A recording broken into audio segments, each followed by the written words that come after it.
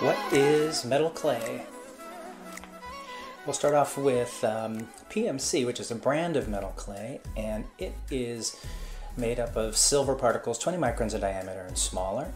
And you can take that and shape it into whatever form you like it. It's actually composed of metal particles, cellulose binder, and water, and that's what comprises the clay. It's malleable, you can roll it out, you can shape it with your hands and you can dry it. Afterwards, you can fire it with a torch or in a kiln. Most people have creme brulee torches, and you can use that. After it's fired, it is actually 0.999 FS, which is fine silver. There's also a sterling version and also base metal versions as well. You can see here how malleable it is and shaping you could take that shape and you can dry it and you can carve directly into it to create a texture. You can also mold it into whatever shape that you want. It can be circular, jump rings, anything that's sort of sculptural you can create. And afterwards, after it's fired, it will be fine silver or real metal. You can see here when it dries, uh, you can actually take those pieces and attach them together to create things like toggles and other sculptural elements.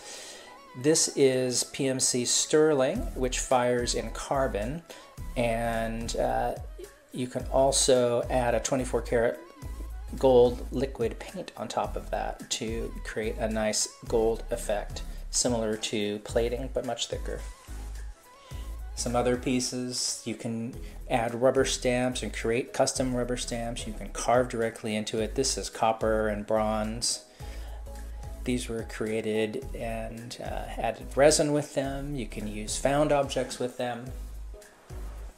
And you can create more dimensional elements like these shadow boxes.